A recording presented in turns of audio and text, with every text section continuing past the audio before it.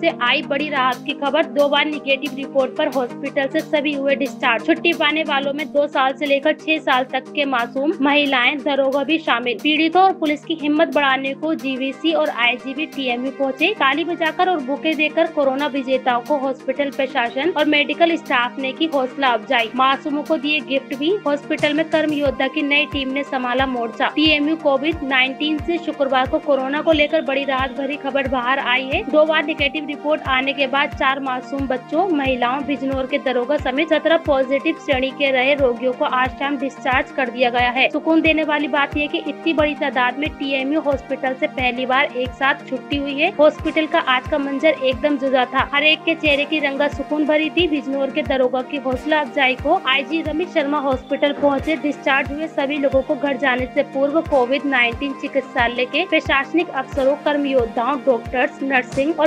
Paramedical staff ने फूल बरसाकर और तालियाँ बजाकर उनका हौसला बढ़ाया। पुलिस कर्मी का हौसला बढ़ाने में आईजी भी पीछे नहीं रहे। उन्होंने दरोगा पर फूल बरसाकर और ताली बजाकर हिम्मत बधाई। ताली बजाने वालों में निर्देशक प्रशासन अभिषेक कपूर, निर्देशक अजय गर्ग, निर्देशक विपिन जैन, नोडल अधिकारी doctor V K Singh, nodal अधिकारी डॉक्टर नजमुल हुदा आदि भी रहे। डिस्चार्ज हुए लोगों ने सेल्फी भी ली, जबकि हॉस्पिटल प्रशासन की ओर से मासूम बच्चों को तोहफे में चॉकलेट भी दी गई। दूसरी ओर मरीजों और कर्म योद्धाओं के उत्सव वर्धन को group vice chairman Manish Jain भी पहुँचे। उन्होंने सोशल डिस्टेंस का पालन करते हुए आईजी रमेश शर्मा से मुलाकात भी की। श्री जैन ने आईजी को कोविड 19 हॉस्पिटल के मौजूदा स्टेटस से अपडेट कराया। साथ में निर्देशक प्रशासन अभिषेक कपूर भी थे। दूसरी ओर साप्ताहिक रोटेशन में हॉस्पिटल के डॉक्टर, नर्सिंग और पैरामेडिकल स्टाफ ने मोर्चा संभाल लिया है। पुराना स्टाफ अब चौदह दिन के लिए क्वारंटाइन में रहेगा। जनपद बिजनौर के नहडौर थाने के अंदर सब इंस्पेक्टर मन्ने सिंह जिनकी कोरोना पॉजिटिव रिपोर्ट आई थी, उनको तीर्थांकर महावीर यूनिवर्सिटी में यहाँ पे एडमिट किया गया था एल टू कोविड हॉस्पिटल में। आज उनकी रिपोर्ट दोबारा नेगेटिव आने के बाद में वो डिस्चार्ज होके सकुशल जा रहे हैं वापस बिजनौर और चौदह दिन तक का होम क्वारंटाइन वहाँ पे करने के बाद में फिर वो अपनी ड्यूटीज़ रिज्यूम करने के लिए बहुत हाई मोराल के साथ अपबीट मूड में हैं।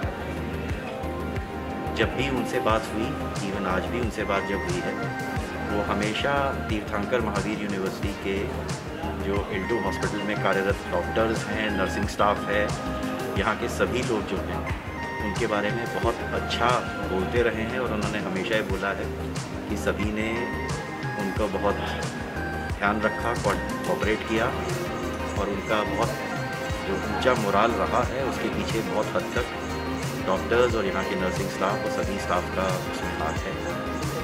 मेरी उन सभी लोगों के लिए शुभकामनाएँ हैं जो मरीजों का ध्यान रख के, जो डॉक्टर्स नर्सिंग स्टाफ और सभी लोग मरीजों का ध्यान रख रहे हैं और उनको इतने बढ़िया मोराल के साथ, इतने हाई अपीट मूड के साथ वापस भेज रहे हैं। मेरी शुभकामनाएँ इन सब इंस्पेक्टर के लिए भी हैं। कि इन्होंने एक बहुत अच्छा एग्ज़ाम्पल सेट किया है। एक बहुत ऊँचे मोराल के साथ में सारा टाइम रहे और बहुत पॉजिटिव एटीट्यूड के साथ रहे और आज भी जब वो जा रहे हैं तो उनका कहना है कि मैं चौदह दिन का होम क्वारंटाइन करने के बाद अपनी ड्यूटियाँ फिर उसी उत्साह के साथ देने के लिए तैयार हूँ। ये बधाई के बात है और साथ में तीन कंकर महावीर यूनिवर्सिटी का सभी स्टाफ डॉक्टर्स नर्सेस सभी बधाई के पात्र हैं। नमस्कार, मैं doctor B K Singh, nodal officer TMU hospital से बोल रहा हूँ। आज का दिन बहुत खुशी का दिन है। टीमू हॉस्पिटल के लिए, मुरादाबाद के लिए।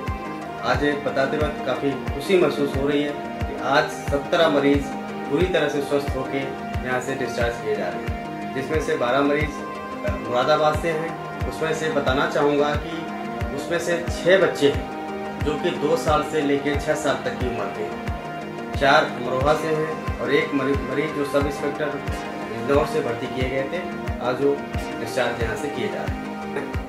यहाँ पे टोटल 25 मरीज़ भर्ती हैं। इसके अलावा चार संदिग्ध मरीज़ भी भर्ती हैं बीते 24 घंटे में, जिनकी, जो कि सारे गंभीर स्थिति में आईसीयू में सस्पेक्टेड आईसीयू में भर्ती किए धन्यवाद।